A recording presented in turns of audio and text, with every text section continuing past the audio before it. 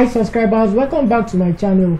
Today i will be sharing with you on how you can recover an AutoCAD file a deleted AutoCAD file how you can recover it back on your system. Like in a cases whereby the AutoCAD was crashed it shows fatal error it was unsafe you can recover an AutoCAD drawing file back automatically. Uh, the first method is uh, let's use this AutoCAD drawing file as an example one of the screen so it will save it today. Now on this place here on this place here now if I should press save if I should click on this icon that says save you can see now it has brought the backup file that is the changes that was carried out.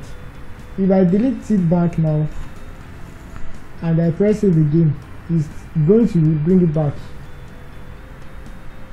you can see. Now in a situation whereby you mistakenly delete the AutoCAD file itself like you mistakenly delete this particular AutoCAD file it was mistakenly so okay let me close it first. Before I can delete it I have to close it first.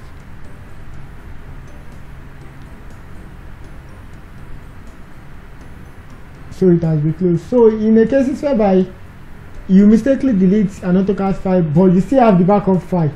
Alright so what you simply do is that you right click on that backup file and then you change the extension to dot .dwg then you press enter. Then I'll click on yes. So when I open it back now by the time I open it back it's going to give exactly what I have before that was deleted because I have the backup file. And that is the first method of you recovering your AutoCAD file if you have the backup file. That is the first method and the other method is that you can on this place here when you come to these options when you click on options here or you come to or you can as well right click on your drawing page and click on options. So you can see here under the automatic save it says 10 minutes between saves. So that is it was said that every 10 minutes it will automatically save the file itself not it will automatically save. Alright so and this create backup copy with each save is checked in. And when you click on this this is under open and save.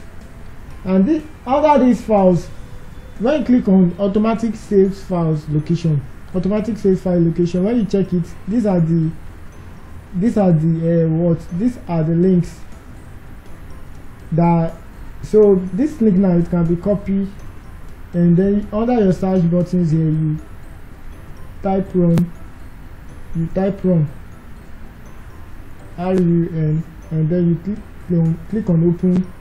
So you can paste your you can just paste your words you can paste your run you click on paste here.